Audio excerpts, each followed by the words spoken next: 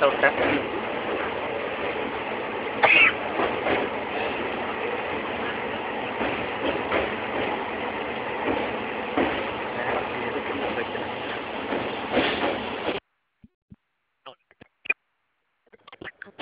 Sekarang ada baik lah.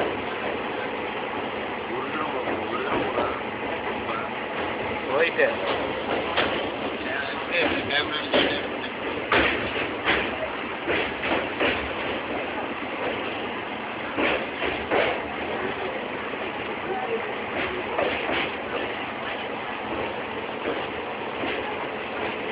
那个。